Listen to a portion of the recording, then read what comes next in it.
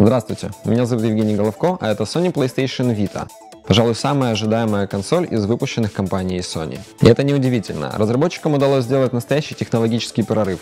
В разы улучшить эргономику устройства, увеличить разрешение экрана, и в результате Sony PlayStation Vita стала самой дорогой консолью из доступных сегодня. Внешне PS Vita очень похожа на PlayStation Portable, дизайн которой оставался практически неизменным с 2004 года, когда была выпущена первая PSP 1000. Новинка имеет ряд визуальных отличий, связанных с использованием более крупного, чем в PSP экрана и увеличенного количества элементов управления.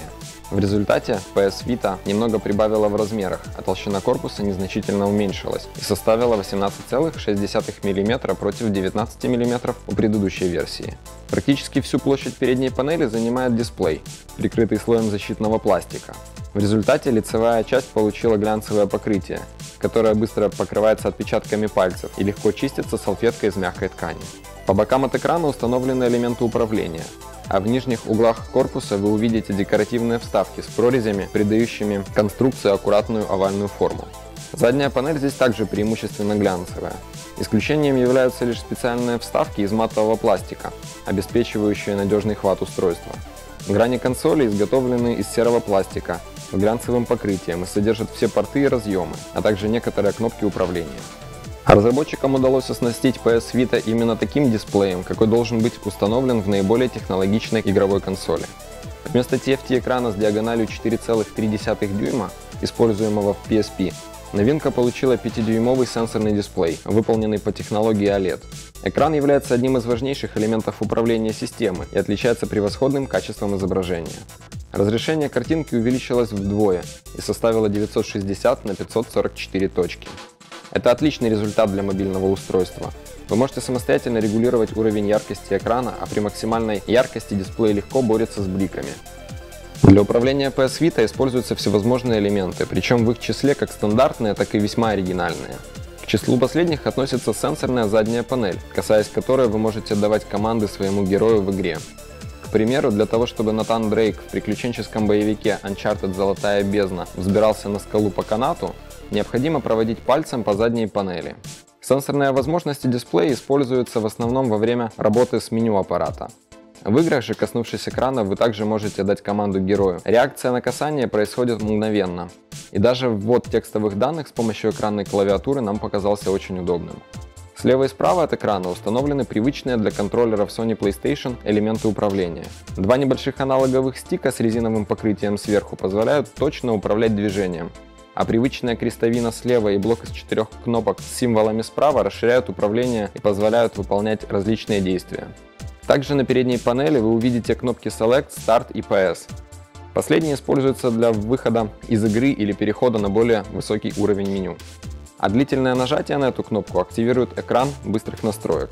Вертикальный скроллинг позволяет просматривать меню консоли, а горизонтальная прокрутка обеспечивает перемещение между запущенными приложениями. Для того, чтобы закрыть окно, необходимо потянуть за его угол. Верхняя грань PS Vita также под завязку укомплектована функциональными элементами.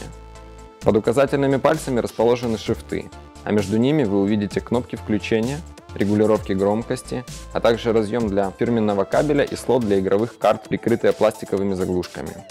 На нижнем торце расположены разъемы для зарядного устройства и наушников, а также слот для карт памяти, разработанных специально для PS Vita. Эти карты имеют емкость от 4 до 16 гигабайт, а их цена соизмерима со стоимостью наиболее скоростных карт для профессиональных зеркальных камер. Видимо, разработка собственных стандартов карт памяти и карточек, на которых поставляются игры, это продуманный ход компании для борьбы с пиратством. Немалую роль в управлении играют и спрятанные внутри устройства элементы. Новинка от Sony получила шестиосную систему отслеживания движения, состоящую из трехмерного гироскопа и трехмерного акселерометра, которая позволяет выполнять некоторые действия, не касаясь клавиш и стиков. К примеру, для того, чтобы герой игры прыгнул в сторону, необходимо резко дернуть консоль в нужном направлении, а для того, чтобы удержать равновесие на скользком бревне, перебираясь над пропастью, необходимо аккуратно наклонять устройство. Работу встроенных датчиков вы оцените и во время стрельбы из снайперской винтовки. Позиционировать крест прицела значительно удобнее наклоном и поворотом консоли, чем аналоговыми стиками. Откровенно говоря, комплектация консоли меня разочаровала. В компактной коробке вы найдете зарядное устройство, состоящее из трех элементов. Также большое количество разных бумажек и инструкций. Кроме того, в комплекте поставляются карточки дополненной реальности. Карта памяти в комплект поставки не входит, а без нее вы не сможете начать игру. Меню Sony PlayStation Vita представляет собой большие объемные иконки, а список открытых приложений представлен в виде закладок. Сенсорное управление организовано лучшим образом, а для того, чтобы разобраться с устройством, рекомендуем зайти в зону приветствия. Базово в PS Vita предустановлены социальные приложения «Рядом» и «Тусовка», позволяющие находить других владельцев консоли и общаться с ними. Кроме того, в PlayStation Store доступны для скачивания клиенты Facebook, Flickr и Foursquare, а Skype появится уже в ближайшее время. Любителям виртуальной реальности точно понравится реализация дополненной реальности с помощью специальных карточек. Они поставляются в комплекте и помогают взаимодействовать с окружающей обстановкой с использованием встроенных камер. Для каждого из типов мультимедийного контента в меню PS Vita предусмотрен собственный плеер.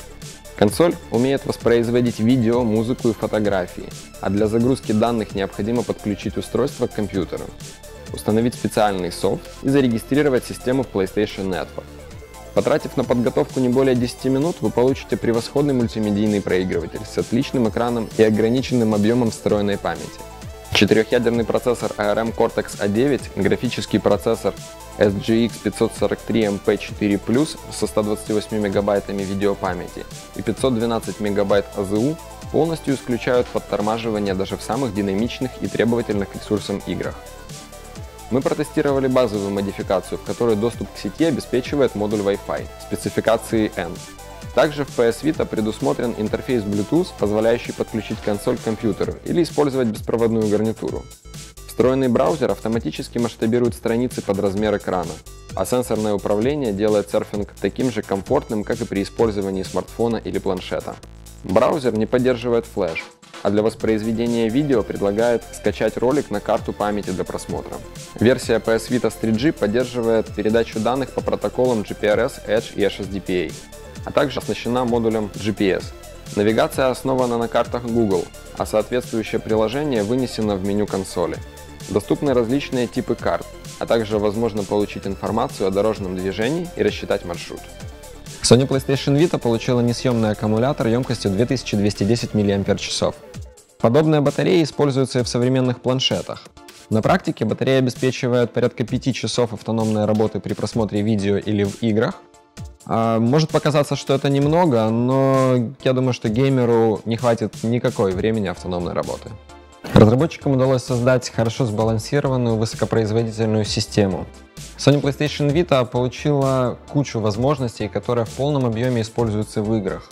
А вот единственным сдерживающим фактором, который не позволит всем желающим приобрести эту игрушку, является не детская цена, причем как цена самой консоли, так и игр для нее.